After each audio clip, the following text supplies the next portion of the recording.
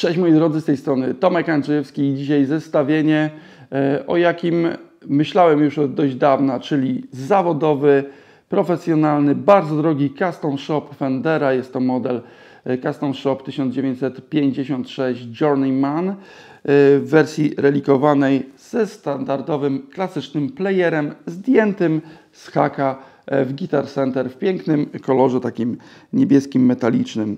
Moi drodzy, stare kontra nowe. Mimo, że obie gitary są nowe, to jednak stare kontra nowe. Powiem Wam, co mi się podoba w rozwiązaniach z Custom Shopa, a co podoba mi się w rozwiązaniach z Fendera Playera.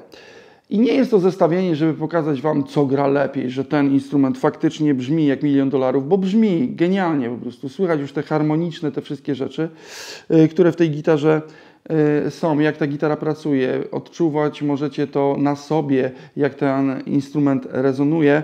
Y, natomiast y, powiem Wam tak, czy w takim ogólnym miksie naszej gitary będzie to aż taką przeszkodą, by grać na tańszym instrumencie? Nie wydaje mi się, bo sam jestem zwolennikiem playerów, posiadam ich kilka.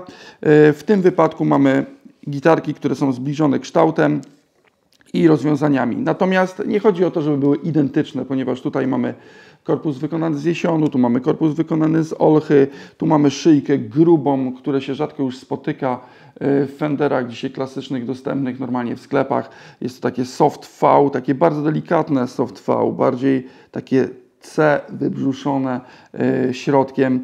E, mamy tutaj te rozwiązania typu relik, mamy ręcznie nawijane przetworniki. W obu przełącznik pięciopozycyjny. W obu mamy te same rozwiązania dotyczące elektroniki, czyli potencjometr głośności i dwa tonów mostki. Tutaj mamy most oparty o 6 śrub i to, co podoba mi się na przykład bardziej w playerze, to fakt dwóch punktów podparcia, jeżeli używamy mostu ponieważ dla mnie mm, to jest dość istotne, bo bardzo często go używam. Oczywiście da się to ustawić na mostku e, typu vintage. Tutaj jest ustawiony lekko spod kąta z nieco mniejszym ruchem e, niż akurat w playerze, ale tego playera ustawiałem sobie sam, e, więc pewnie dlatego tak jest, by był większy zakres. Co do szyjki w playerze, to jest ona polakierowana w satynie.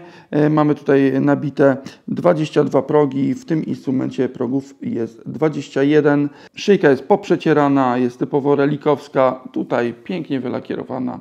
E, klucze 6 w linii, tutaj również klucze 6 w linii. E, nie ma tu się za bardzo co zastanawiać. Jest to e, gryf zrobiony z jednego kawałka klonu. Tutaj również nie ma naklejonej podstrunicy. Do tej gitarki zostajemy zawodowy futerał w prezencie oraz papierologię.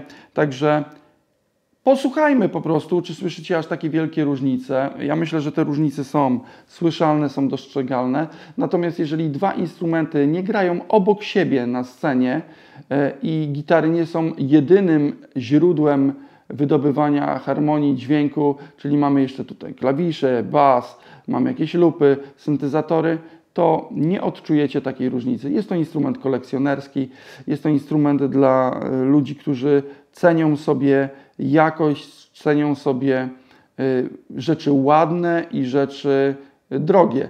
Natomiast tutaj mamy typowego woła roboczego, który ugra 15-godzinne y, wesele, o ile takie jeszcze są, y, który może być na każdej scenie, zagra od popu po rokowe rzeczy, także wasz wybór. Dajcie znać, która gitara podoba Wam się bardziej. Do zobaczenia w kolejnych odcinkach. Link do obu znajdziecie pod spodem. Trzymajcie się. Cześć.